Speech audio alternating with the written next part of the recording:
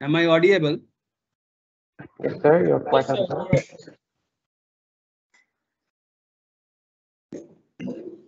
Yes, it started, Santanu. Good morning, one and all from India. Uh, sorry for the six minute delay due to technical issue. So it is a blessed Sunday. Today it's the 26th September 2021 is the 80th foundation day of CSIR, that is Council of Scientific Research. It was established in the year 1942. CSIR is an autonomous body under Ministry of Science and Technology under Government of India. NEIST, that is Northeast Institute of Science and Technology, is one among 38 laboratories of CSIR. On this auspicious day, I wish each and everyone a very happy CSIR Foundation Day. Now coming back to IVWGST 2021, I'm sure every one of you like me are thoroughly immersed in this once in a long time opportunity to listen and interact with the finest minds of the geosciences world. Let's brace for one more of it by none other than the session chairman of IVWGST 2021, Professor J.R. Kayal. Sure, my sentence would have proceeded with a thundering round of applause if it were happening physically. We honor Japan this session. I kindly invite Professor to say a few words, please. Over to Professor Zhao.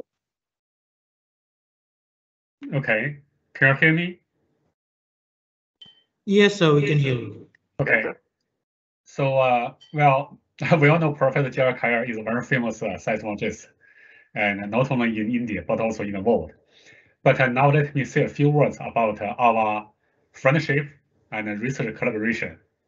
And uh, I have known Dr. Kayal for 28 years.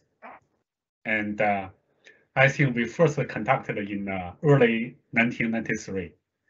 Actually, my first tomography paper was published in JGR in the uh, 1992 December issue. I think Dr. Kayal saw uh, that paper and he uh, uh, sent me a letter through airmail. But he first sent a letter to Sendai, Japan. But at the time, I was in uh, Caltech, America. So my colleagues in uh, here in Japan forwarded uh, his letter to me to Caltech. So I think that took uh, or two months, I guess.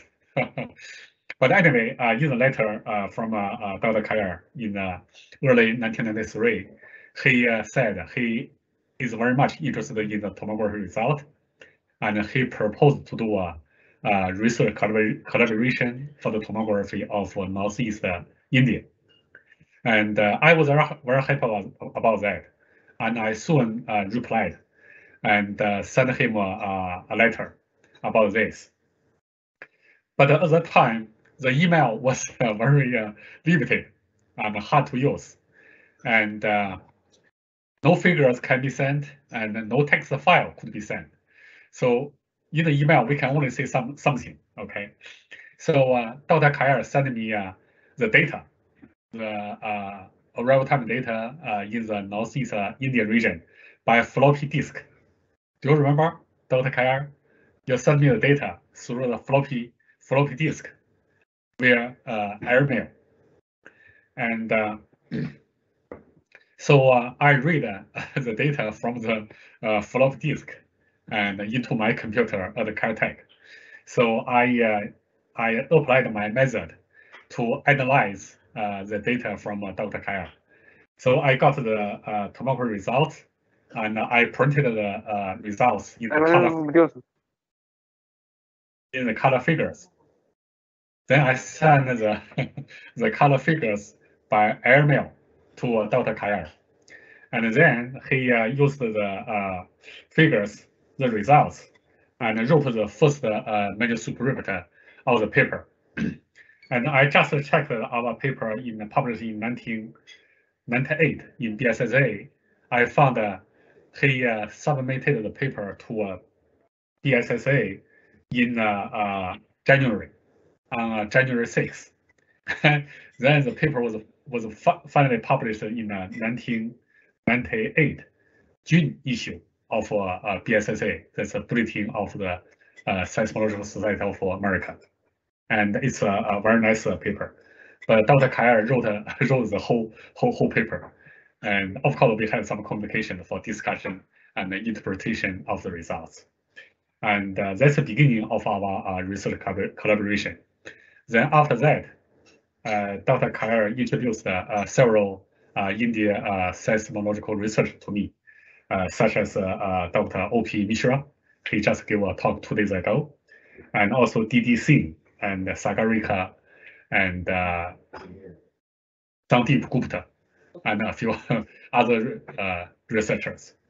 So that's uh, uh, the start of our research collaboration and also my research collaboration with the India uh, seismological uh, researchers. And uh, so I really appreciate the friendship and the research collaboration with Dr. Thank you so much. And uh, okay. Thank you, Professor Azam, for sharing your experience. Now, introduction of our speaker. Does any introduction? Let me not miss this founder of a person not as a. I uh, I cannot hear you clearly. Generally, There's some communication. some uh, some noises there. Yeah. Uh, ladies and gentlemen, here is a concept biodata of Professor J.R. Kayal. Professor. Kayal did his MSc at Indian uh, School of Mines, Dhanbad in 1969, and PhD in microearthquake seismology from Victoria University, New Zealand in 1983. After post-graduation, he joined the Oil and Natural Gas Commission, ONGC,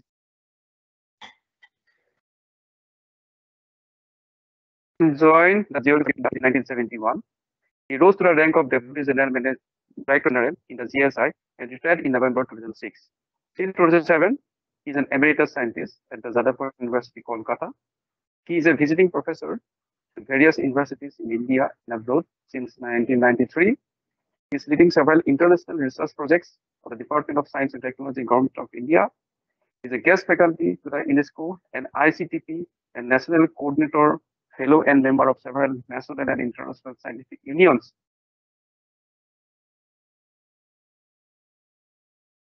CU, AG, AGU, ISPI, IUGG, etc. He has about 44 years of research experience in exploration geophysics and earthquake seismology, and about 20 years of teaching experience in India and abroad.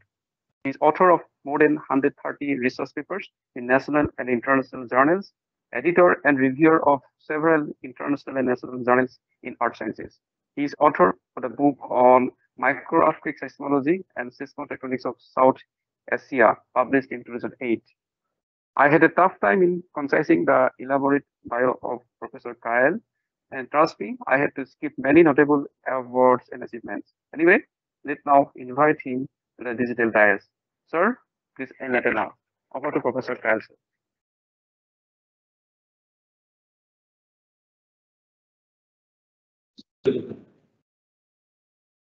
No. Thank you. Thank you, Santanu. Am I audible? Yes. sir. Yes. Thank you, Santanu, for your kind introduction and thanks to my dear friend, Professor Zhao, for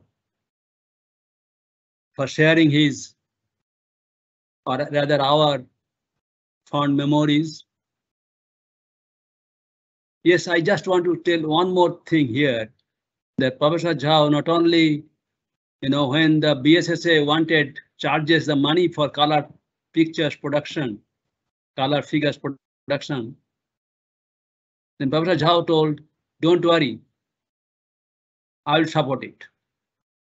Then another experience when I when my book was first published, I share my you know experience and uh, I wrote to him about that book to Professor Zhao And he said, I have already purchased two copies or four copies, something like that. I think four copies, two copies for my central library and two copies for my own lab, own laboratory. So that is the generosity and support I always received since 1990s till today. Professor Zhao is is not only my friend, he is friend of his friend across the globe.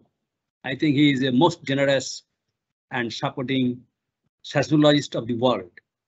Now, without wasting any time, let me come to the topic. Now, our topic today is, and today I am really feeling so, so glad that it is on, on the, it happened to be on the foundation day of CSIR. So I am feeling very good. Though there was some little initial problem in opening my computer, but hope everything is fine now. So let us proceed to the topic today. Recent large, recent large and felt earthquakes in Northeast India. Is seismotectonics and precursor appraisal.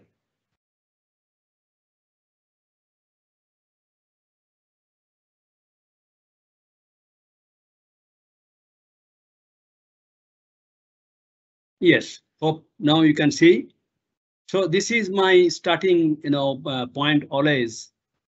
I want to show you how the Indian plate reached to this present situation since last 71 million years. And today this is the, you know, topography map of the whole Southeast Asia. You can see the Himalayan collision zone. You can see the Andaman Sumatra subduction or trench an Indian plate is moving from the Carlsberg Ridge somewhere here towards north northeast and on head-on collision in the Himalaya and the Indian oceanic plate, Indian ocean plate, it is subducting below Andaman Sumatra subduction range, subduction zone, which is also connected with the Indo-Burma subduction zone, which was earlier uh, a subduction zone with a trench, but now it is an atypical subduction zone because now it is continent-continent situation, but still the dipping slab is still there that you see in this slide itself,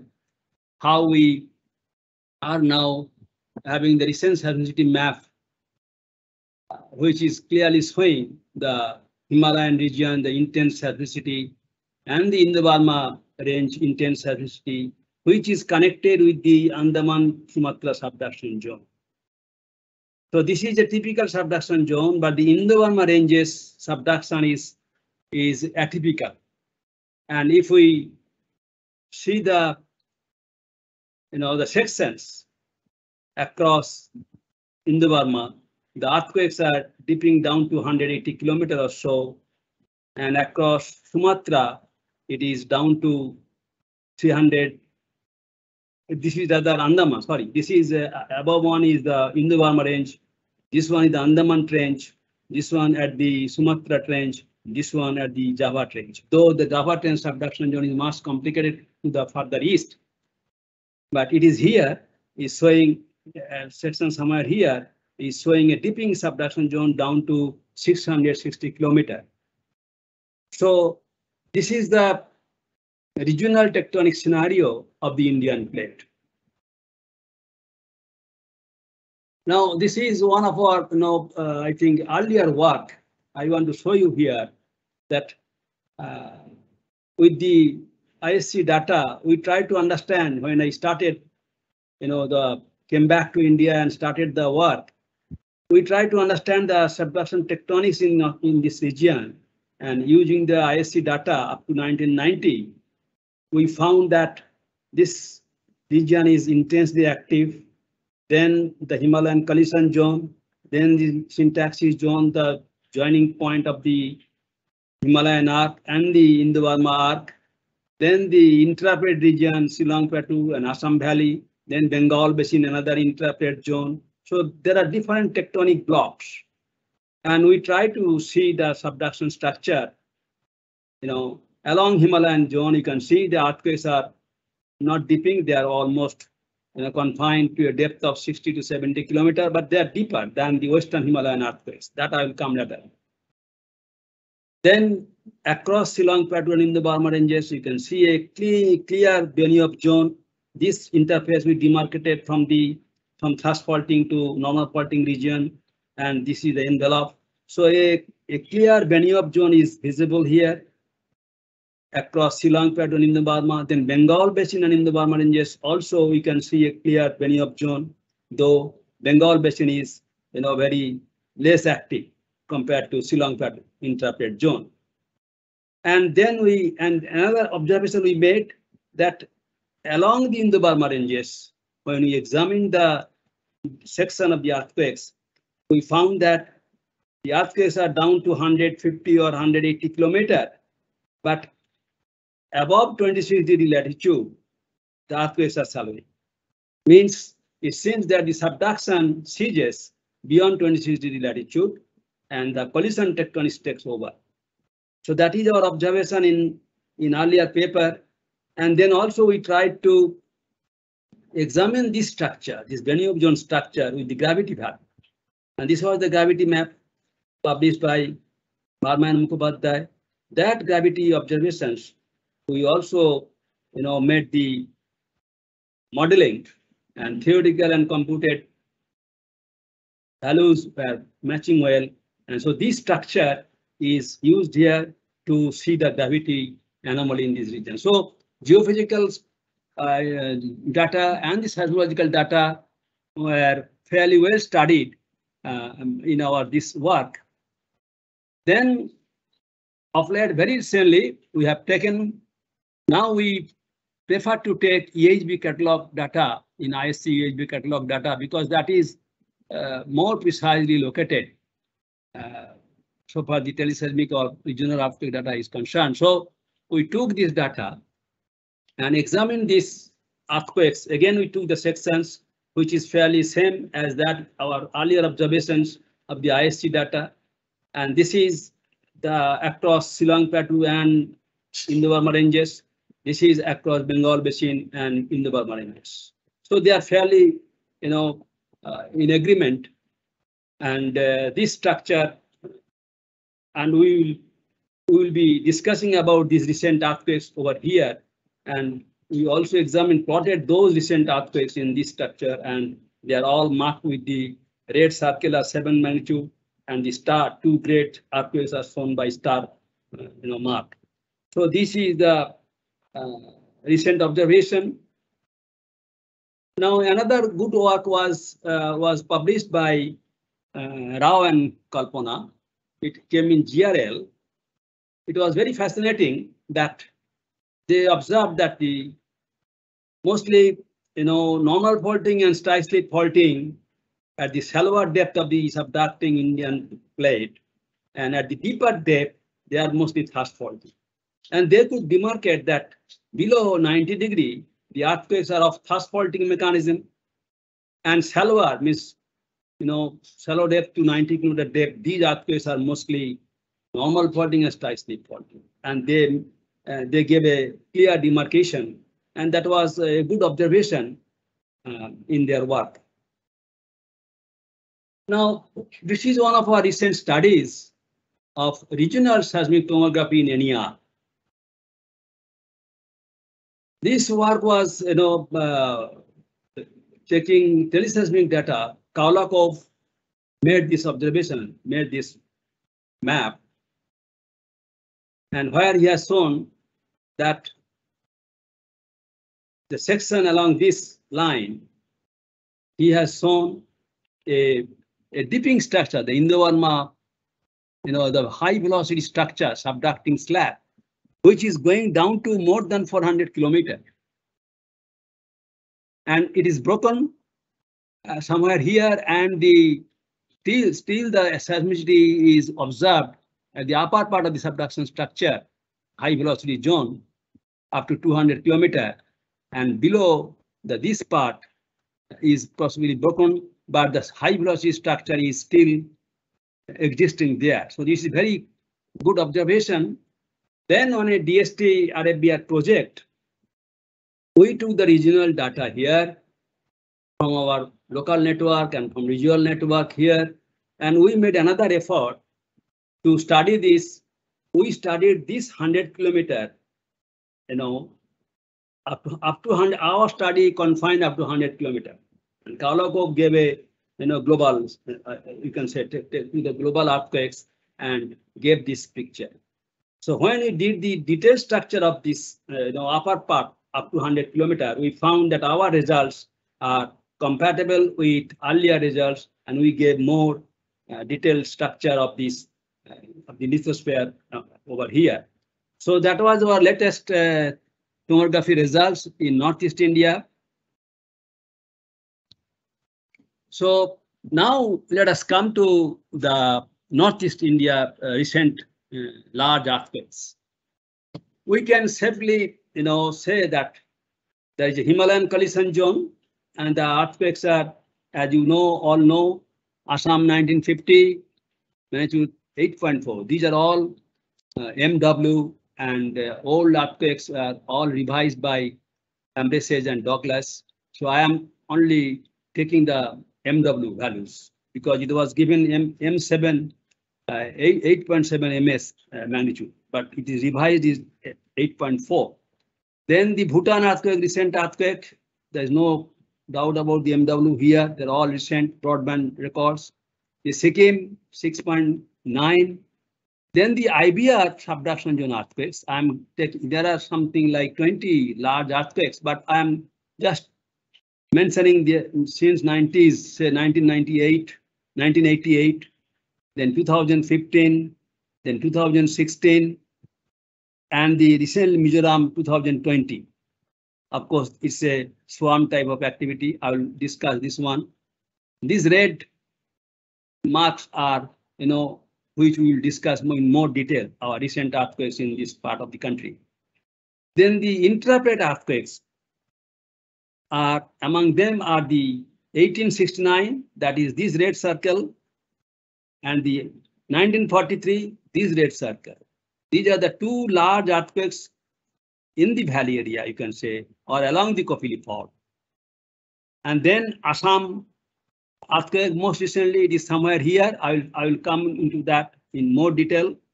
Then the Manipur earthquake 2016, it is here, this black star. The, all these black stars are recent earthquakes since uh, after 1950.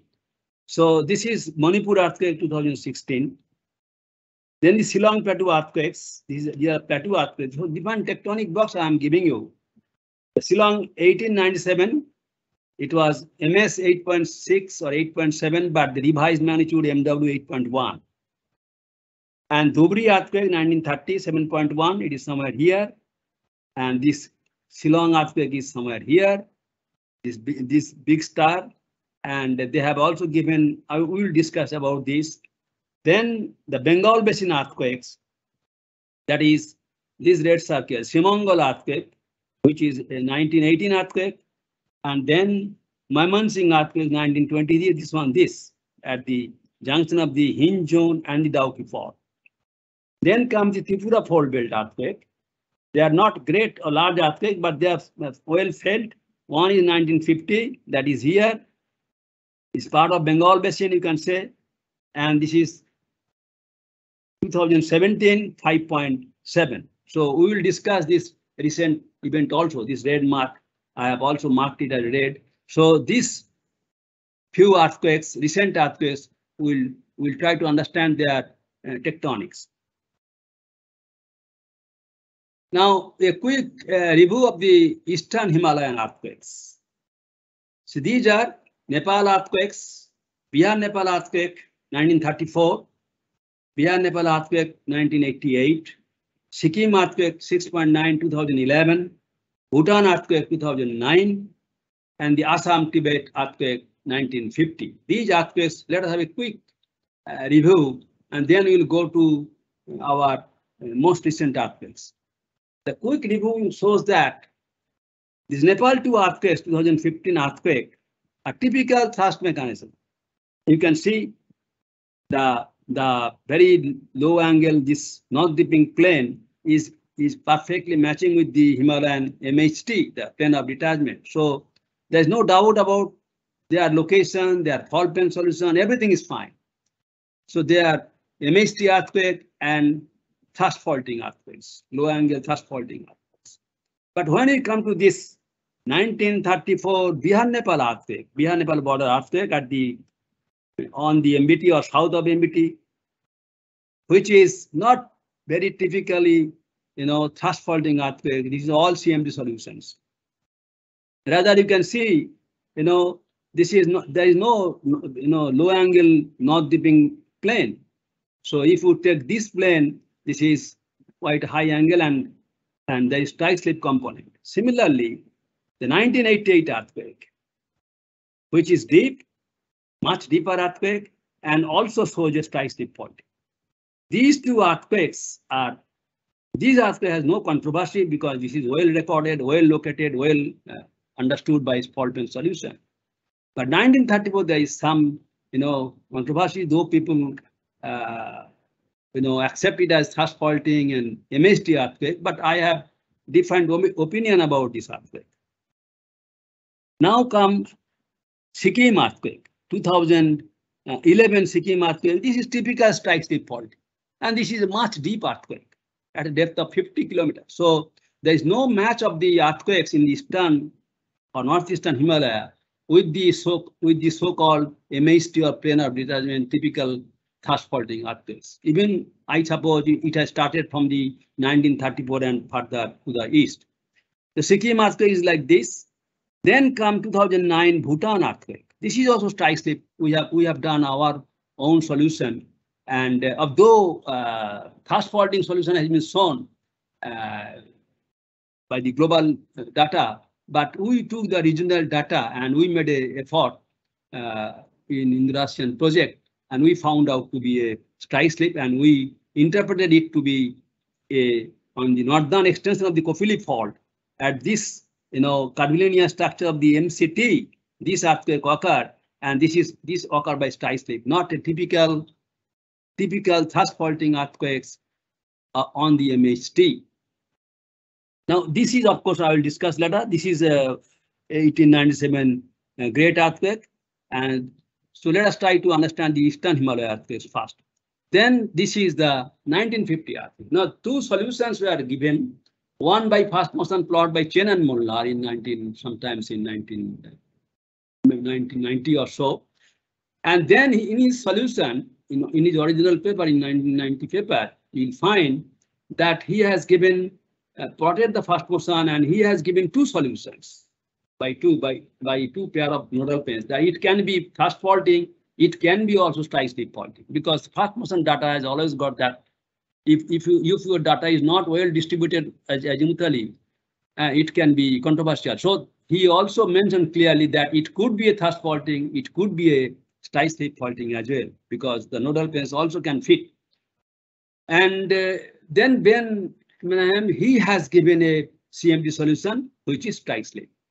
Holt and uh, myself also prefer this strike slip solution of the 1950 earthquake. It is not a typical MHT earthquake because here a lot of earthquake solutions are shown by Holt in this region and their shallow earthquakes are all, they are not shallow, they are 40 to 50 kilometer depth. They are all strike slip mechanism. So this is complicated zone, you know, not typical Himalayan MHT earthquakes. And here the Indo-Burma are, and the Sagaing fault is just you know, joining here and there, there are structure like this. So these the structure, these thrust faultings or these faults are fairly, you know, compatible with this nodal plane. So this, this is about the Eastern Himalaya earthquakes. Now, as I was telling, if we feed this, this is this is a very good work by Monsalve, his PhD thesis in JGR, it was published. And there he opened our eyes that earthquakes are not only confined on the MHT. I think he was the first man. Then I took up this this uh, topic and I, I think I also tried to understand this deeper earthquakes. So he has shown this is a, from a French Nepal telemetric, very good network data, digital network data. It was published in 2006. And he has shown that there is not only planar detachment earthquake cluster of earthquakes, but there are deeper source zone also, also to the south, south of MBT or south of, you know, uh, at the MFT MBT zone.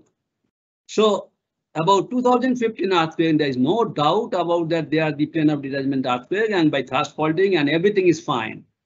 They obey uh, in the MST, in the tectonic model. But I have a doubt about the 1934 because this is controversial, uh, means different depths are given by different authors. It, Richter has given 40 and Abe has given something like 35. So this is not really typically planar detachment, you know, some 15, 20 kilometer depth. Here it is 20 kilometer, but here it is about 15, 20 kilometer, 20, yeah, maybe 25. So this depth wise and plane solution wise, these, you know, deeper source zone could be the source zone for the 1934 earthquake. Then another, this is well studied, well estimated depth by Japanese network by many agencies, and they have shown this 50 kilometer depth and which is strike slip. So I presume that 1934, 1988 could be from the deeper source zone. This is, you know, a controversy again, but uh, the Nepal geoscientists and uh, other groups, they believe that 1934 is on the plane of detachment, MHT earthquake. Now, for the Sikkim earthquake, there is a fair, it is well, fairly well studied. Now you can see here, the Sikkim earthquake is red star in the Sikkim Himalaya in the in the further east. So you can see the red star, and it is it is very well well located and well studied by fault plane solution, the CMT solution, and the previous earthquake also from something like 5.8 also shows price step solution. And when we examine the section across with the, with the EHB data, we found that there is a you know particle structure, and this red star is the main shock of 2011 Sikkim earthquake, and these red stars are the aftershocks. And these black stars are all magnitude 5.5 or well-studied earthquakes, and these are the those earthquakes. So a, a typical and these small dots are all magnitude less than five. So these particle structure is well, you know, well uh, reflected uh, in our observation. And this is the so-called planar detachment. So I doubt whether the planar detachment at all means existing in the eastern or northeastern Himalaya. Because there are so many transverse structure. And this is a, this earthquake we have we have interpreted in, in terms of the Tista lineament or Tista fault. This is lineament is given by GSI at last, but we now define it to be a Tista fault. This is a fault and that generated this 2011 earthquake and there are several earthquakes here and thereby slip fault. And fortunately there was a micro earthquake network, telemetric network by uh, or standalone, I forget, by NGRI. Uh, almost semi-permanent. They, they have run it for a couple of years, maybe for a decade. And that network was there when the 2011 earthquake occurred. And that's PhD student, uh, Pinky Hazarika and his guide, Ravi Kumar. They have come out with a vertical structure with the with the aftershocks of the uh, 2011 earthquake. So a vertical structure and strike slip faulting in the Shillong area, I mean Sikkim area, in the eastern Himalaya, I think I think leaves no doubt. And uh, the, they didn't do any tomography work, but uh, a MT work was published in 2009 by Patra and Harinarayan, and they showed and, and it was particularly along you know the epicenter zone across rather across the epicenter zone that profile was from foothills to Himalaya, and they have shown uh, at the source zone uh, in in the in the Sikkim Himalaya uh, the the heterogeneous structure of conductive zone and high and high resistive zone. And at this juncture, at this heterogeneous structure, I think tomography could have given such you know such structure, uh, you know, and uh, this heterogeneous structure is a very favorable for stress accumulation. And uh, this was the zone of you know Sikkim earthquake, source zone of Sikkim earthquake. Then Santanu Baruah and others, I think I was also co-author. We have uh, given this, uh, you know, Coulomb stress transfer uh, picture and which shows that how the how the aftershocks are are along this, you know, high stress zone. So this is our Shillong Sikkim earthquake. And then we come to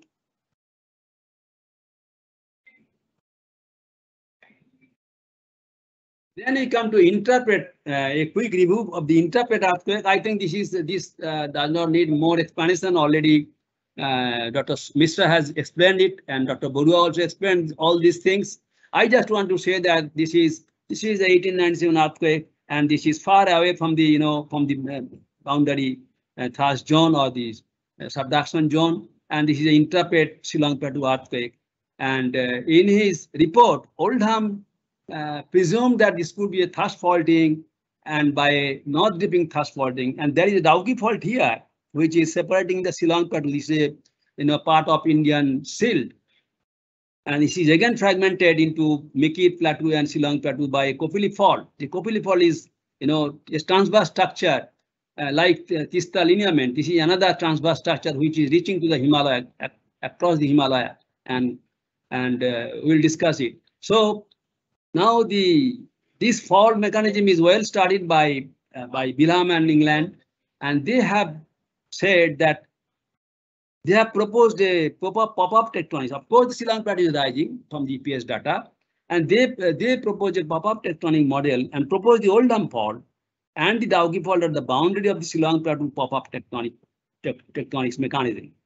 And there is another fault called Dapsi thrust, which is separating the you know the Shillong silt or rather granitic rocks from the tertiary sediment. This is the Dapsi thrust on one offshoot of the Dauki fault.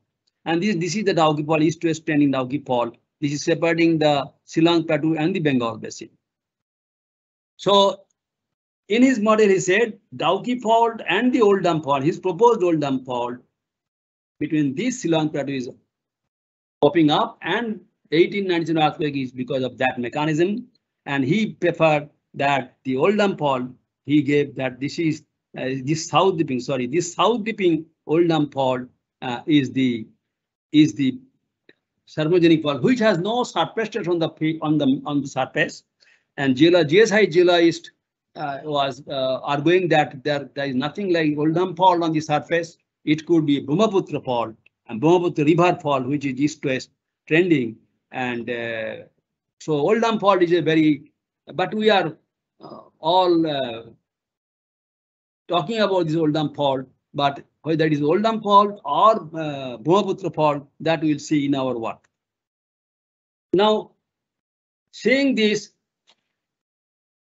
we made a, we had uh, we had a, examined this data this year this was by 2000 uh, digital network has come in northeast india by RRL Jorhat I mean NEIST now it is NEIST so we took this data and under Indo-US project we studied this uh, with you know with a with our group and we found that the Shillong Plateau, they are all broadband data, very well looked data, and all moment tensor solution done by, by this team.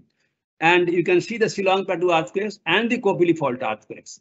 The Shillong Plateau earthquakes are all mostly by immerse faulting, whereas Kopili fault earthquakes are all by mostly strike slip and normal faulting. So we have taken section across Shillong Plateau and along Kopili fault and across Kopili fault. Now to examine the pop-up tectonic model of the Shillong Plateau, this is old um, Bilham and England's model. We, we examined the section of the earthquakes, well-located earthquakes. This is the Dauki fault, this is the Dapsi thrust, this is the Oldham fault, this is the Brahmaputra river fault. And all earthquakes are in, this zone and down to, you can say 45 kilometer or so.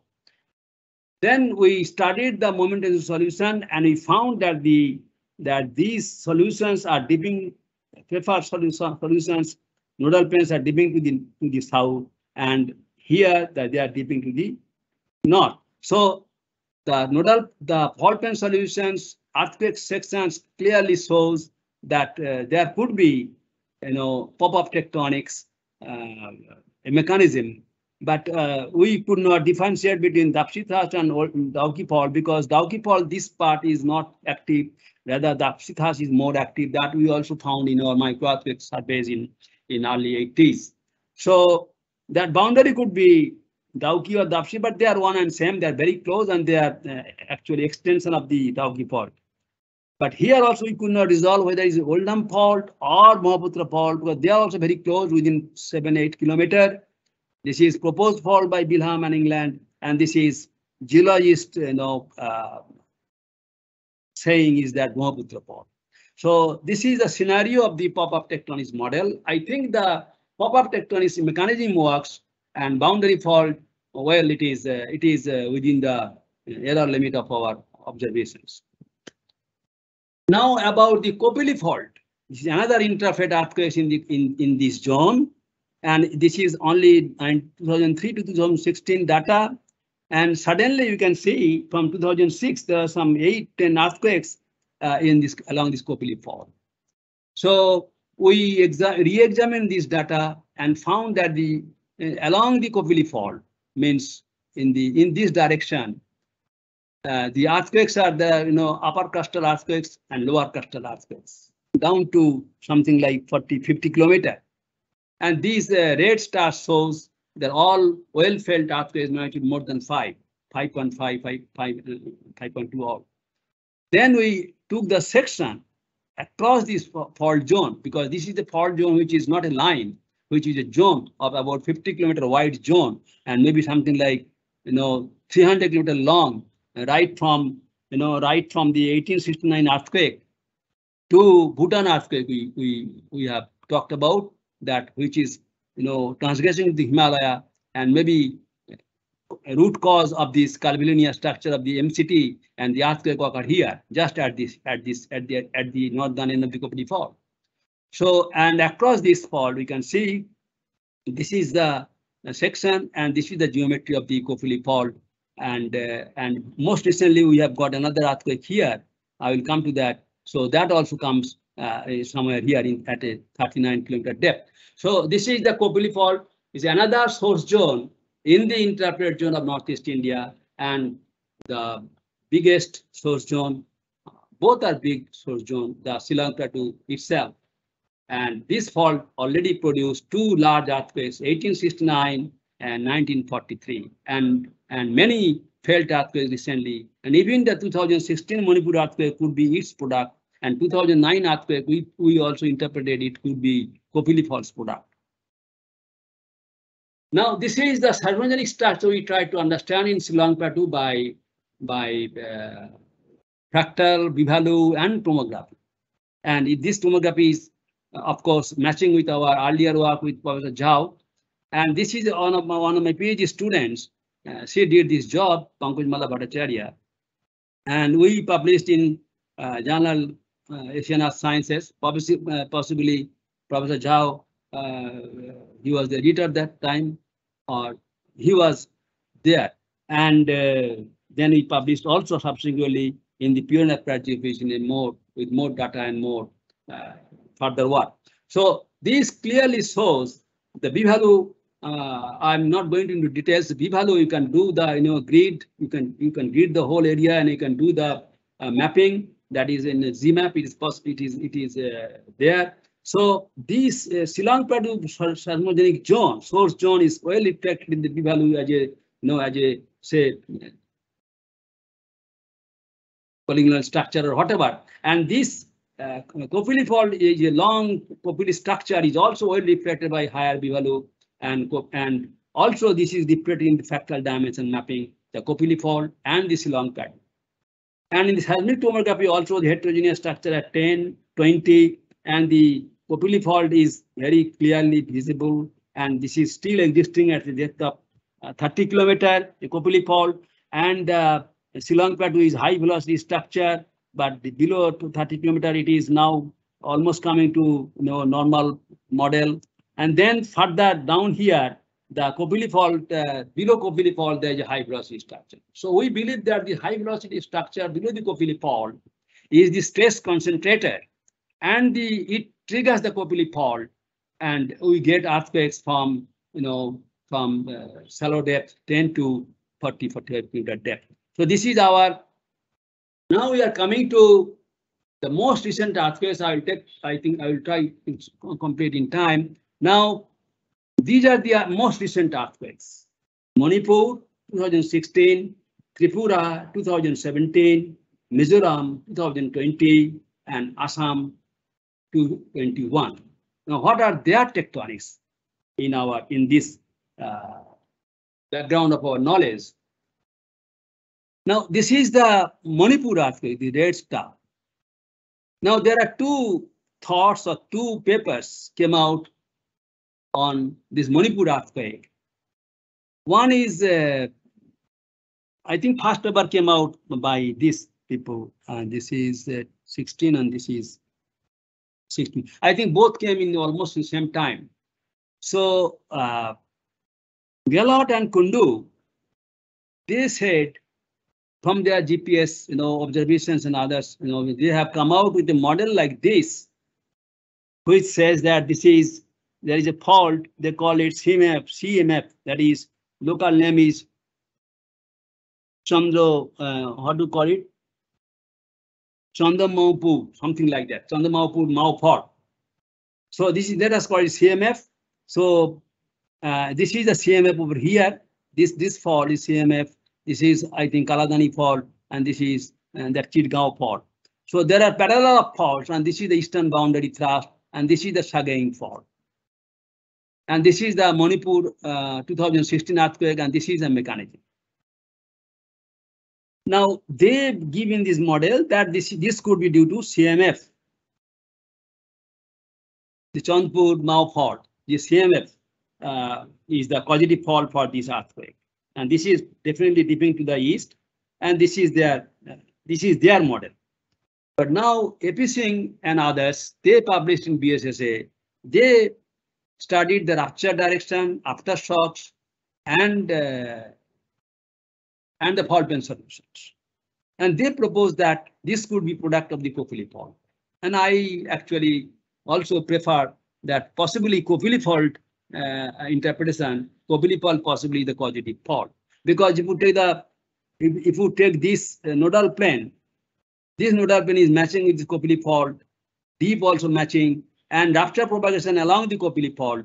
And Kopili fault already produced so many earthquakes here, large earthquakes over here, the 1869, 1943, then most recently Assam also, I'll come to that, then the Bhutan. So it's a long transverse structure which is existing, I think, before collision uh, it is a mantle leaching fault, like Tista fault. So uh, this is uh, this is two observations and could be Kopili fault is the you know generator of this earthquake. Now come the 2017 Tripura earthquake. It is not a very large, strong earthquake either. It is just 5.7 earthquake. But uh, let me first say it here. So this is Shillong Plateau, you all know. This is Bengal Basin. And this is the nine old earthquake, 1950 Tripura earthquake. And this is the 2017, the bigger black star is the 2017 Tripura earthquake, 5.7 magnitude. And this one was also 5.9, I think 1950 was 5.9. And this is the Manipur earthquake, black star here. Now, these small earthquakes at a depth of uh, 30 kilometer, it caused some you know, liquefaction in a in a cultivating uh, field. And uh, after field investigation, one of our student, Subhankar Das, he was MTech student in geotechnical engineering in NIT. He took initiative to make a you know liquefaction potential map, which could be you know, used in our microzonation mapping. So he come out with this with the geotechnical data, with the SPT data and other things. And now let us understand the generation process of this earthquake. Now this earthquake is in this map, it is here, the Tripura earthquake, and this is the Manipur earthquake, and these are the Mizoram earthquakes that I will come later. Now this Tripura earthquake, or you know, it's in the part of Bengal Basin, this Tripura earthquake in this model that uh, Gahalaut and Kundu's model, uh, they have shown Manipur here, and uh, this is our Mizoram. I will come to that later. Now this is the Mani, uh, Tripura earthquake, means this one means uh, rather you can say this one and this is here this one. So this earthquake, Manipur, uh, Tripura earthquake is much at the interpret zone and we call it you know outer IBW Indo-Burma wedge. This is this they, in the model they call it Indo-Burma wedge core. This is uh, inner core. This is outer. So it is a uh, interpret zone earthquake. So this is the tectonics, and this is not you know, surprising. This this uh, this occurs in Bengal Basin, and uh, 5.7 is uh, is one of that. Now, if we come to the uh, Mizoram earthquake, which is really you know alarming in a sense, there are some eight earthquakes within six months from uh, April to August. Yes, April to August, some eight earthquakes. Uh, they, they are listed over here from magnitude 5 to 5.9. And this is the Aizawl, uh, Mizoram capital city. And the and the nearest earthquake was in the Aizawl city over here, somewhere here. This one, this is the earthquake, which was 5.3 or 5.6. I think there, there is there is two uh, two magnitude they are given anyway. So this is the uh, this created a lot of panic in the Aizawl city. I think a lot of uh, lot of damage uh, were shown by uh, Dr. Saurabh Barua in yesterday's lecture. So so this is uh, this is that earthquake, and all the earthquakes we we took from the EHB catalog again. Oh no, this is naturally not EHB catalog is ready because this is uh, from the ISC catalog. EHB takes about three years to refine the depth. So those earthquakes magnitude more than five only we have taken. And these earthquakes are plotted here, all these earthquakes. And there are something like another 20 earthquakes of magnitude 4 to 4.9 and some another 30 earthquakes magnitude more than 3 to 4. So this is a scenario uh, within six months it happened in Mizoram. So a lot of panic. And we find that the uh, Mizoram earthquakes are all within this wedge. And this is the Manipur earthquake, and this is the uh, Tripura earthquake. So this is coming fitting fairly well with the given model of uh, and uh, uh Kundu.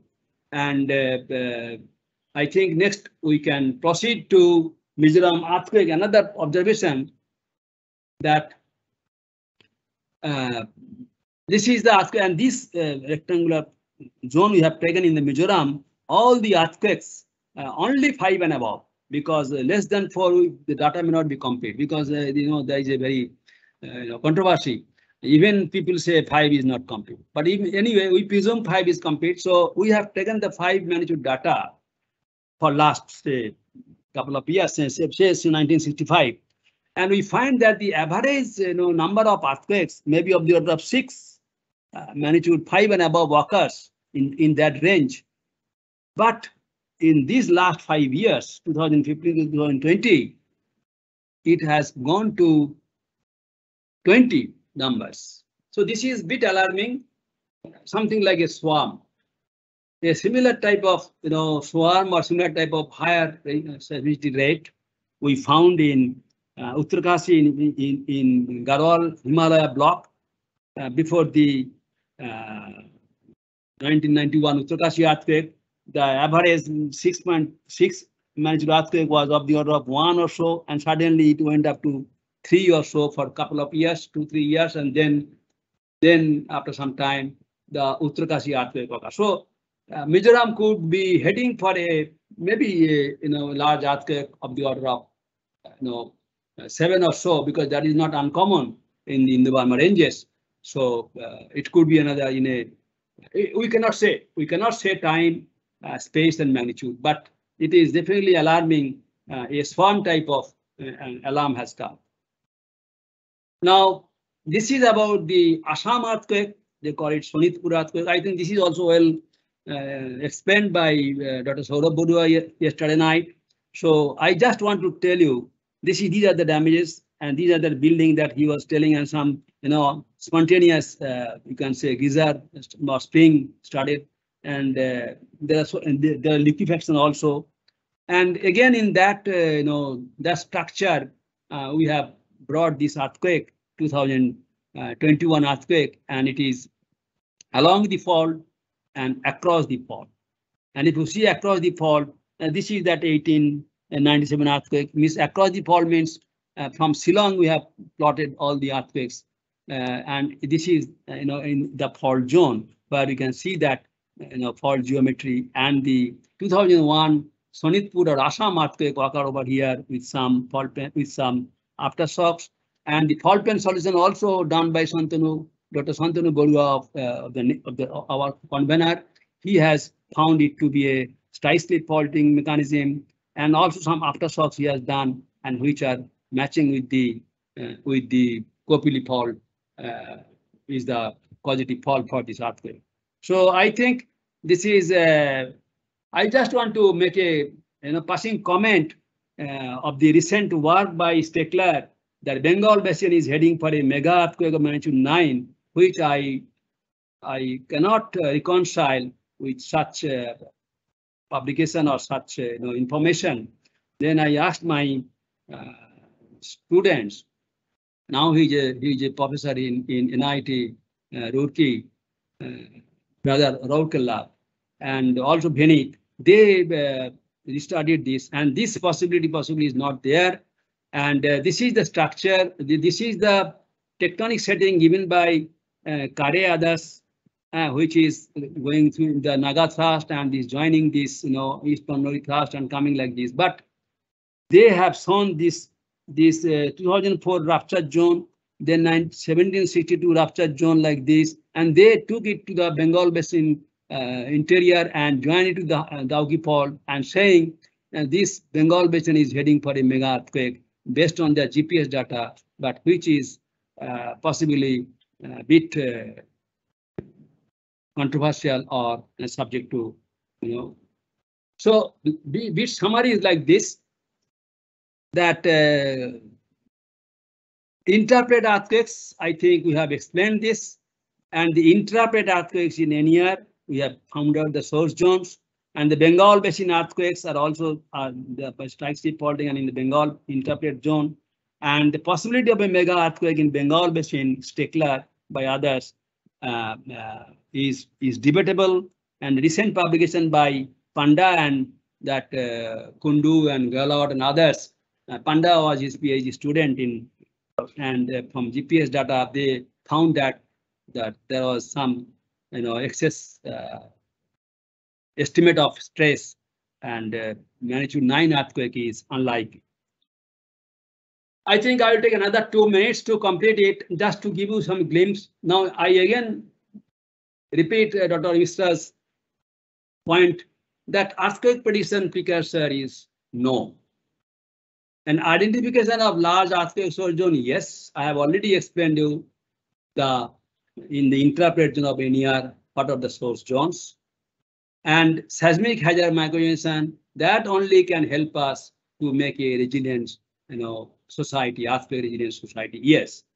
And this already mentioned by Dr. Mr. I will just uh, make a one point here that, well, this earthquake was found a lot of you know, geophysical precursor, but the China Earthquake Prediction Committee did not predict it.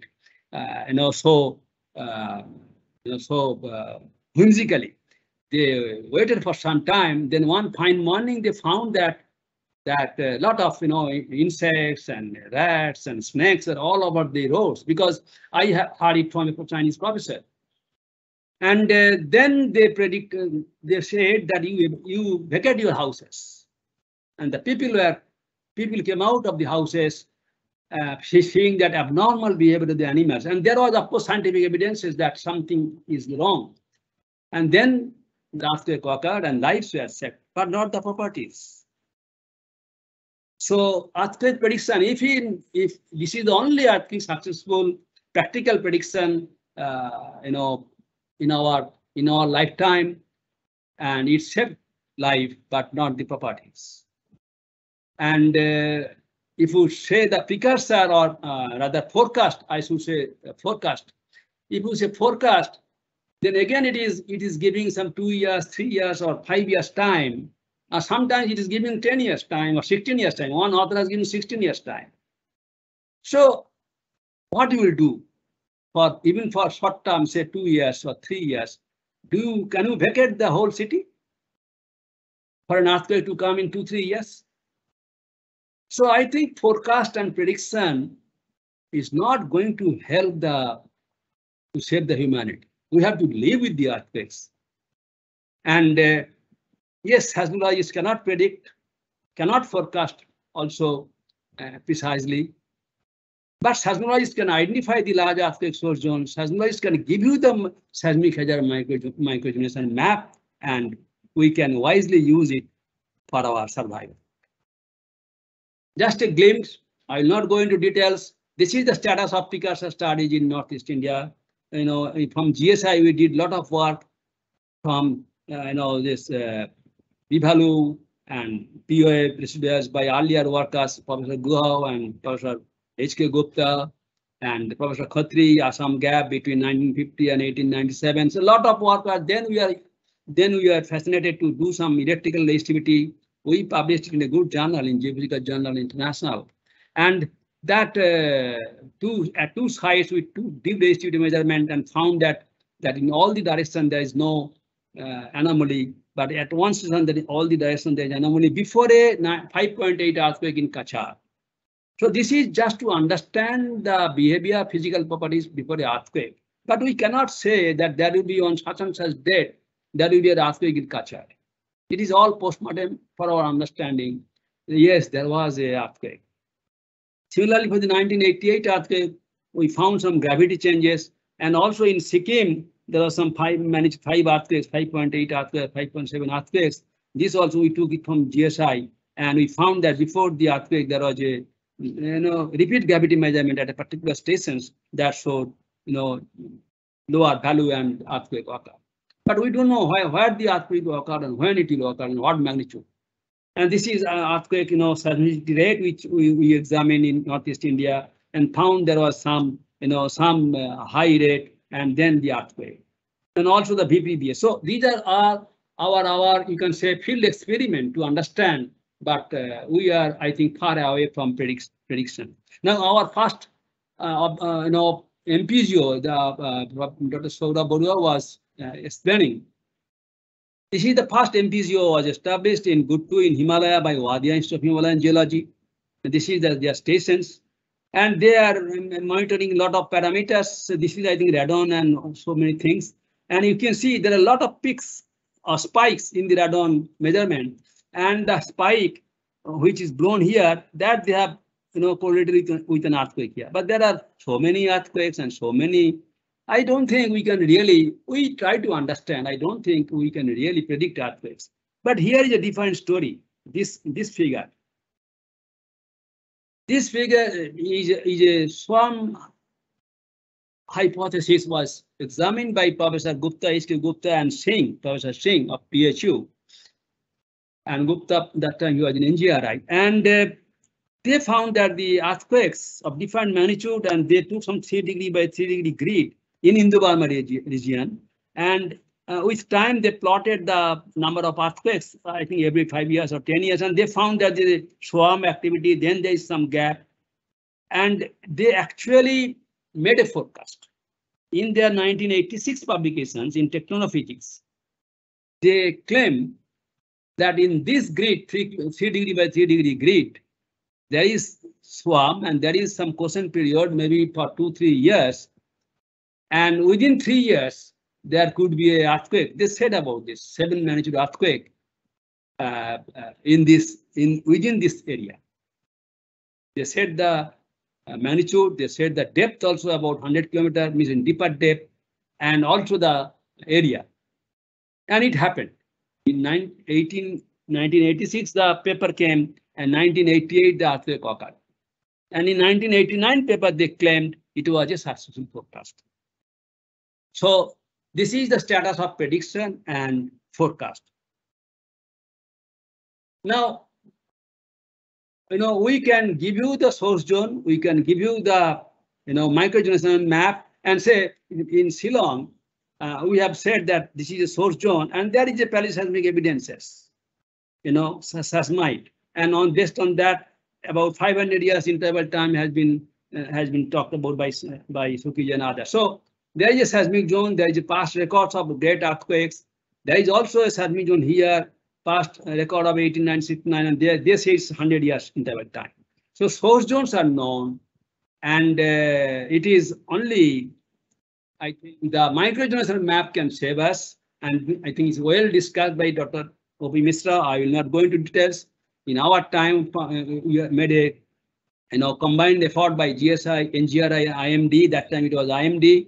Then NCS has come. So we made a very detailed study of the, you know, all type of landslide and the geophysical basement, gravity, everything.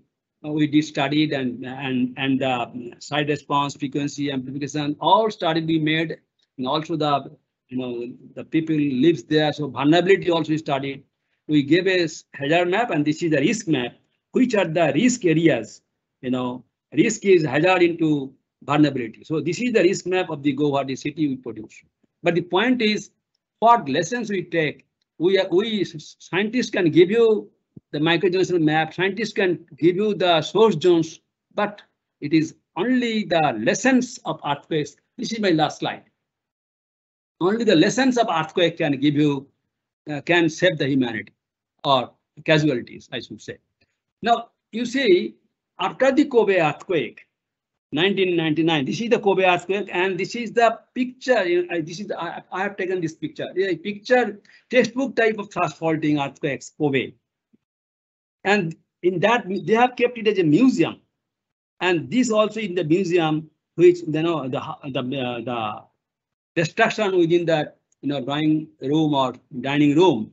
So everything they have kept as a museum for the next generation, and they have also they are showing the how uh, they have recorded, real recorded and simulation. They have shown how dangerous this earthquake you know, occurred and how the destruction was when happened. So this is Kobe, and the lesson is they have taken that before 1980, any building there is made has to be retrofitted.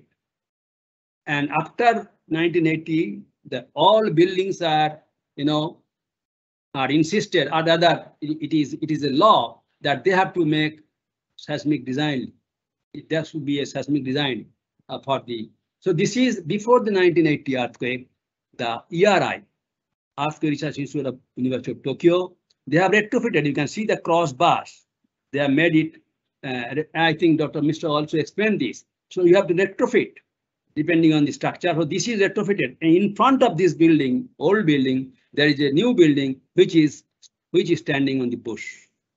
So this is uh, one PhD student. She took me to show me this. I was there for some time. So, so this is the lesson Japan takes. And in the other day, Dr.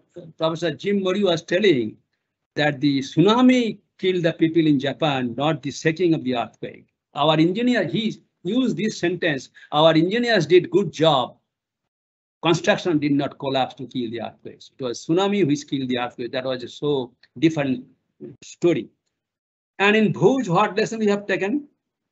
In Bhuj, so much destruction, nothing is kept. A new city has come up, and one of my good geologist friend the other day was telling that in the new Bhuj city after the earthquake, the buildings are standing on the on the fault, which we have mapped. So this is the lessons we take. So unless we take the lesson, we we cannot. So we have to live with this beautiful nature, and uh, we have to we have to learn to live. Thank you very much. I took some more time because I late, I started late. Thank you all for your kind patience. Thank you all. Thank you very much, sir, for your uh, very insightful talk seismicity of Northeast region of India. Now, may I invite our session chairman, Professor Dapeng Zhao, for his final comments. Over to Professor Dapeng Zhao. Yeah, uh, thank you so much for the excellent uh, uh, talk. I really uh, learned a lot from the lecture. I, well, there are many important information uh, from a lecture, but uh, I'm concerned about the depth distribution of seismicity for example, you show some uh, vertical cross sections uh, in the uh, Shillong Plateau area, showing the, the distribution of uh, intra-plate earthquakes. And also, I just checked your uh, 2012 Tectonophysics paper, and you are the first author. Uh, in the paper, there are some cross sections showing the vertical depth distribution of seismicity. And one of the figures shows the earthquake occur even down to 75 kilometer. I wonder how reliable are the focal depths of those events. Um, I, I'm really could not fully uh, understood your um, question because the sound is not good here. Uh, you are talking about some depth problem. I think the Uh. Focal depth, yeah, focal depth. Focal depth of the events. Depth the, of the depth of the intraplate earthquakes or subduction zone earthquakes. uh, intraplate earthquake in the Shillong, Shillong Plateau. Yes, Shillong Plateau uh, uh, depth of the earthquakes, I think, which I have shown by our local network, that uh, the broadband network of uh, NEIST, uh, the data between 2000. Um, if, if you want, I can go back to the slide. Data between Yes, please. 2003 to 2007. That earthquake depth is uh, up to you know maximum up to 40 kilometer. So, uh, do you want me to see the show you the? I think if I Yeah. can go to that uh, picture. Well, it seems, it seems Yes. to me. Yeah, for example, yeah, this one, Uh, you want you want to see? Uh, the, the cross I think this this section is a fairly good section because this is based on uh, very close, something like uh, 25 uh, network, 25 broadband station was there in this. Uh, let me show you uh, here. There are some 60, Yeah. 70 broadband stations in the whole region. But this Uh-huh. area, we have something like 25. This uh, these uh, triangles are showing the broadband station. So this was only very good uh, events we have taken out of some thousands of events. We have taken something like 300 events for for uh, relocations and and, and Okay. for uh, momentum solution. So Yeah, these can you go events are very well very well located, and this is the section. And if you can see, they are up to I think uh, 40 45 kilometer in the in, in the 45 kilometer 40 kilometer in the Shillong Plateau. Okay, Yes. So how And- deep is Moho? How? How, deep- how deep is Moho, Moho discontinuity? Oh, Moho is is around that uh, 42 kilometer below below Shillong Plateau, 41 to 42 kilometer. Okay, so the earthquake occur almost continuously from surface down to Moho, right? Yes, in Shillong Plateau, uh, um, I think most intense activity between, say, in the lower crust, between 20 to 40 kilometer uh, is the most intense activity. Uh-huh. You know, uh, in most regions of the world, in most region of the world, crustal earthquakes mainly occur in the upper crust. And there's a few events in the lower crust. Yes, So- that I have shown in the in the case of I think I have in the so uh, shown in the case of uh, this Kopili Fault. This zone, Yeah. this whole zone I have shown, the upper crust is uh, you know at a depth of say 10 to 12, kil- 15 kilometer is quite active. Then there is a gap, a seismogenic you know uh, gap, and then ductile some and then the lower crust is again active. So this is Uh-huh. clearly this we have clearly seen uh, in in the in this part in this intraplate region in this Kopili fault So- zone. Yeah, So this region is special. This uh, Plateau region is special.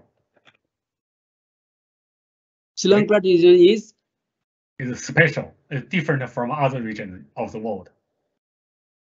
uh, you can say that because because no, yeah yes very good point because in a typical intraplate region say in the Indian plate interior say Kilari if you uh, if you see that the they are the typical intraplate region the earthquakes are much shallow say if I have a uh, if I have a map of India I can show you uh, I How can about Fuji? If I I have a map of India, Yeah, yes, area. let me, let me. So in the intraplate region, typical intraplate region, the earthquake depth are seven to 10 kilometer. Say Kilari earthquake at seven kilometer, Koyna earthquake at a depth of six kilometer. But in the rift zone, in the Narmada rift zone here in the central part of India, the earthquakes are deeper down to 35 kilometer. That's a rift basin earthquake by inversion tectonics. And in the and in the rift zone here in the Bhuj area, Gujarat, Bhuj area, the earthquakes are up to 25, 30 kilometer. That is also a rift zone.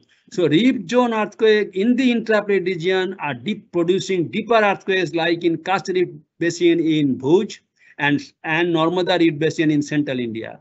But other parts of India, typical intraplate region produce earthquakes at a shallow depth. For example, the Koyna earthquake, for example, the Latur Kilari earthquake at a depth of only seven to six kilometer, seven to 10 kilometer within that depth. So in Okay. typical intraplate earthquakes in India, they are shallow. A- And you are right, the Shillong Plateau earthquakes are are unusual than typical intraplate special. earthquakes. They are, yes, yeah. Okay, great. Yeah. Okay. Yeah. Thank you so Yeah. much. I got it. Thank you so Thank- much. Thank, thank you. Very, very nice. Okay. question. I, I forgot to mention this point. Thank you so much. Thank you, Thank you, Professor. Professor Zhao. Thank you, Professor Zhao. Now, may may I request our session uh, uh, co-chairman, Dr. Surya Baruah, for his uh, comments. Over to Dr. Surya Baruah. Uh, Good morning, everybody. Honorable Session Chairman, Professor Zhao, today's speaker, Professor Kayal, and my dear fellow colleague. Indeed, as usual, it's a really a uh, proud moment for us when our mentor speaks so lucidly about the complex seismicity of uh, earthquake seismology uh, to uh, in the domain uh, that was really wonderful for all of us. He has explained uh, the northeastern seismicity, its pros and cons, and comparing all the earthquakes uh, so far that has happened in northeastern region of India. Very interestingly, the recent earthquakes also he has touched upon.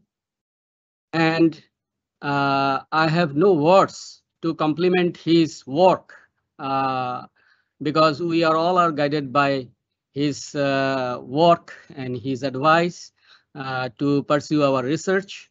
So it was an extra, extraordinary, I mean, deliberations. So on behalf of my side, a hearty congratulations and namaste to you, sir. And that is Thank from you. my side. Over to Dr. Santanu Baruah. Uh, thank you, sir. Now, may I request uh, our uh, GL, uh, Santanu. District Oh. Dr. Manoj Phukon, Okay. uh, for his comments. Thank you very much, Kayal sir, uh, for an uh, for the excellent lecture. Uh, we always look forward to hear to you. Your mentoring has uh, immensely actually benefited us.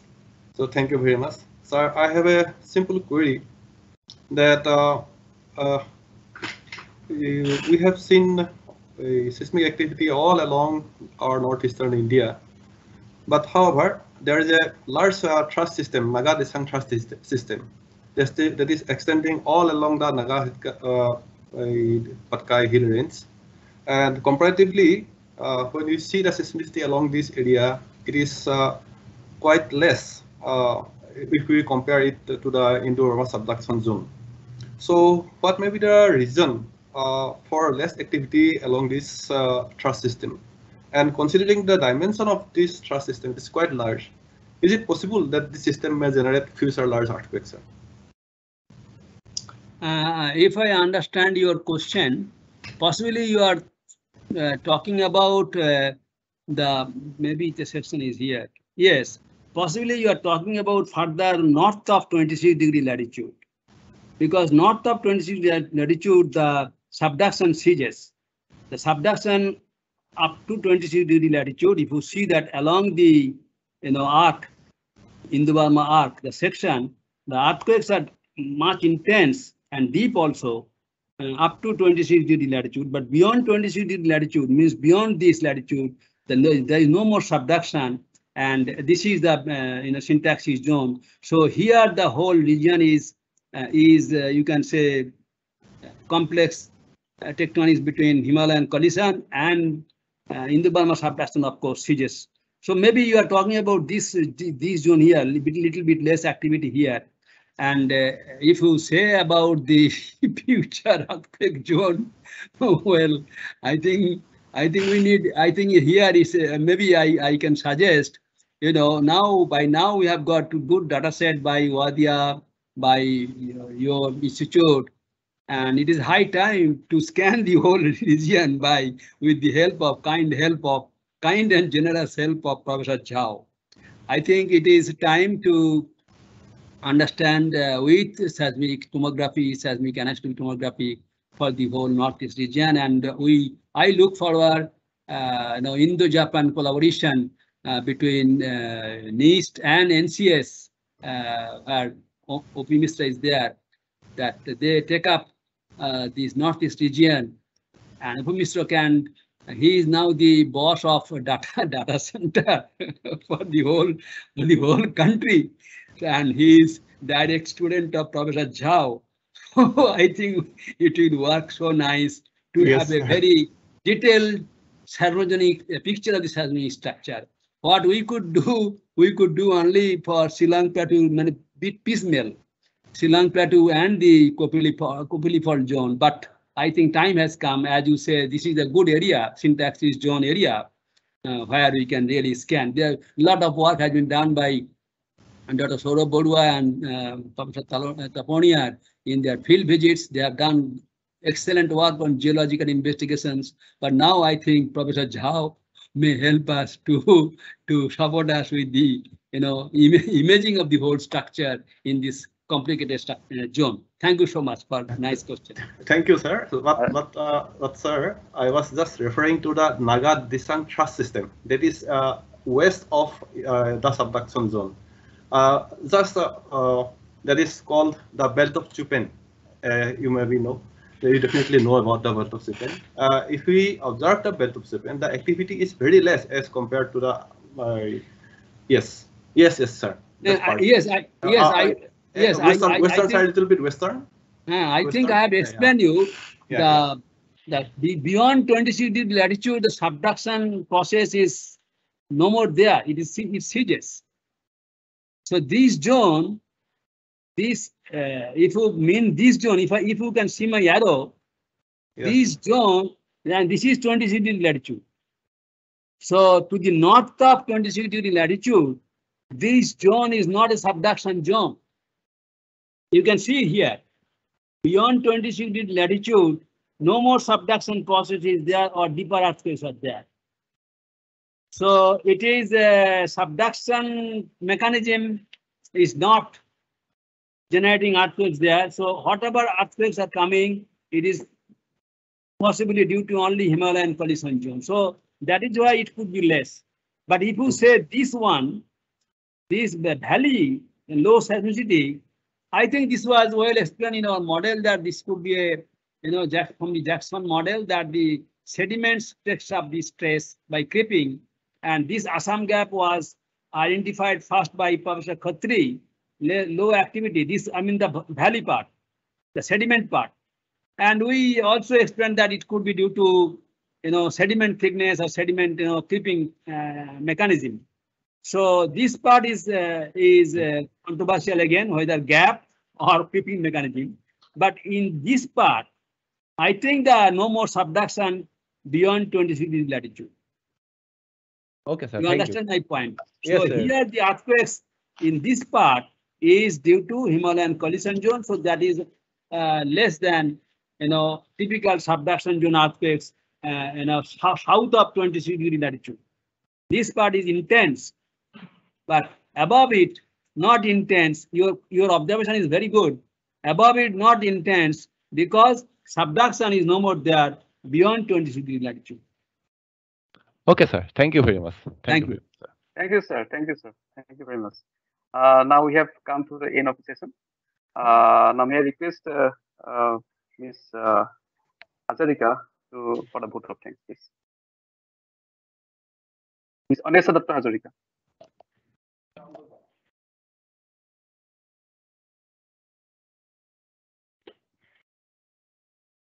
Thank you, sir. Namaskar and good morning from India. It is a great privilege for me to propose a vote of thanks to all who have helped in making this technical session a resounding success. On behalf of the CSI NEIST family and the entire organizing committee of IVWGST 2021, I convey our gratitude and sincere thanks to Professor J.R. Kayal sir for accepting our invitation and consenting to deliver the lecture today on the topic Recent Large and Felt Earthquakes in Northeast India, Seismotectonics and Precursor Appraisal. Professor Kayal's erudite presentation on seismotectonics and recent seismicity in the Northeast India is highly educative and also bears a warning to prepare ourselves better to face impending large earthquakes in the near future. Once again, thank you, sir, for enlightening us with your experiences, insights, and recent updates on the recurring earthquakes in the northeastern part of India. And also, thank you for your unflagging support towards this event. I also express my sincere thanks and gratitude to Dr. G. Narahari Sastry, Honorable Director of CSIR NEIST Jorhat, for providing moral support and ubiquitous help in conducting IVW GST 2021. I would like to extend my heartiest thanks to our international advisor of this workshop, Professor uh, Andrew J. Michael from USGS, for his valuable guidance and support. I take this opportunity to express our profuse gratitude and sincere thanks to Professor Dapeng Zhao, eminent scientist from Tohoku University, Japan, for his esteemed presence amongst us and for kindly obliging to be the chairperson for today's session. Thank you, Professor Zhao, for your generous support and constant encouragement throughout this workshop. I also express my gratitude to our co-chairperson of today's session, Dr. Saurabh Baruah, Chief Scientist of CSIR NEIST, for providing immense guidance and for being constantly connected with this program. I also extend a deep sense of appreciation and gratitude to Dr. Santanu Baruah, the convener of this workshop, for conceptualizing such a splendid idea to organize this virtual workshop and thus facilitate the direct access of the geosciences community with the experts and pioneers in seismology and tectonics from across the globe. For finally, I solicit your continued support during the course of this workshop and look forward to see you all for the next session of the day at 7 p.m. Indian Standard Time. The speaker for the session will be Jure Žalohar from the University of Ljubljana, Slovenia, and the topic of his lecture will be the omega theory and the time-dependent earthquake forecasting. With this, I conclude this session. Once again, thank you all for joining us this morning. Dhanyabad. Thank you. all. Thank you very much. Thank, Thank you, you. sir. Yeah. And see you, see you